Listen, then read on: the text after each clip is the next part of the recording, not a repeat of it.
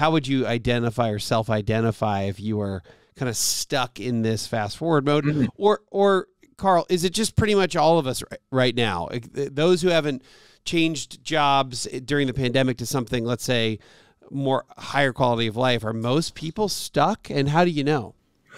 I think many people are, uh, possibly even most. Yeah. Um, how do you know? I think there's a, a, long list of what's the word symptoms, maybe, or alarm mm-hmm. bells that you can see. I'll give you three that jump to mind to start with. Yeah. The first we touched on it a moment ago is is exhaustion. Yeah, it's just feeling wiped out, um, either during the day or certainly by the end of the day. I think the body very often is the barometer, right? It's the canary in the coal mine that sends the message saying, you are just living way too fast.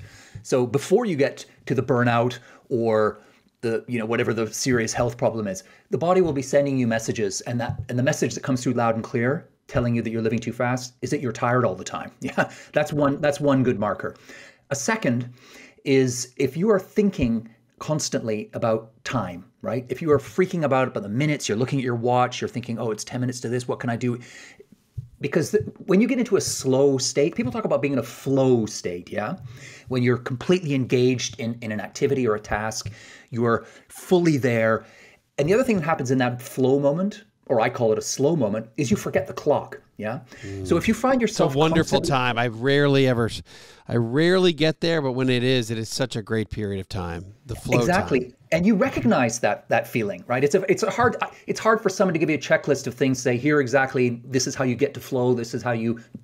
We just know it. It's like when you've eaten too much candy. You haven't counted the candy, but you know you've eaten too much candy, right? You yeah, just know yeah. it. And I think we know that state of flow or state of slow when we're in it. And one way to measure it one barometer is whether we stop looking at the clock.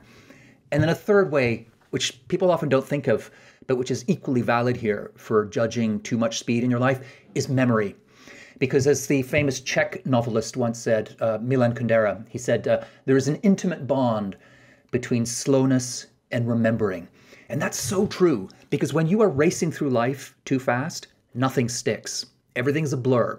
You go through what the moment and it's gone. Nothing stays with you. And I think a lot of us have that sensation, right? We get to the end of the week or the month or even the year and we look back and think, whoa, that was 2021 right you know I, I can't remember what i had for dinner last night you know or you know i watched a finished a netflix series two days ago and i don't remember how it ended right you know, i think that when when memory like memories like that don't stay that is a very clear indicator that you are racing through because you're not there. You're simply not there. And so you're not there to absorb it and, and, and mark it and engrave it in your memory. So those are three little ways to look for warning flags, if you like.